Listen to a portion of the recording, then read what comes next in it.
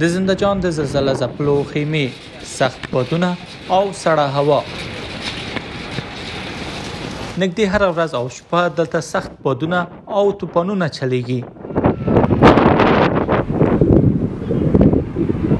هوا سړه ده د راپورونو لمخې د سړې هوا لامل تر اوسه یو خزم مړه شوې ده د زندهجان ولسوالۍ اوسېدونکي تر ټولو زیات د سرپناه نه شتون اندېښمن کړي دي.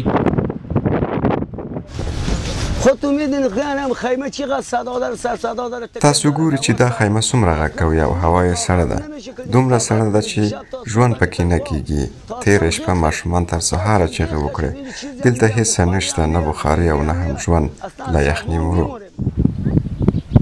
که څه هم ژمی تر اوسه نه دی رارسېدلی، خو د مني سړه هوا هم د دغه کلیوالو ژوند ګواښي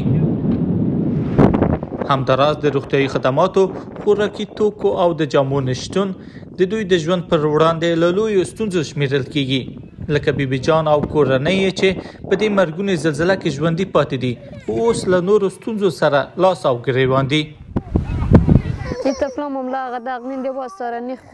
زموږ د ماشومانو پښې لوڅې دي، نه کالي لري او نه هم څه د خوړلو لپاره. هیڅ څه نه لرو، نه د خوړلو لپاره او نه هم د اخیستلو لپاره. تر اوسه د ملګرو ملتونو په ګډون ځینو بهرنیو او داخلي بنسټونو له دغو زلزله ځپلو سره مرستې کړې دي. د طالبانو حکومت هم ژمنه کړې چې د زلزله ځپلو لپاره به کورونه جوړوي. خو داسې ښکاري چې دلته شوې مرستې د هغه ناورین په مقایسه چې دلته پېښ شوی کمې دي او ښایي ډېرو نورو مرستو ته اړتیا وي ترڅو د ژمي په درشل کې د دې بې کوره شویو خلکو د ژوند ناوړه وضعیت بهتر شي.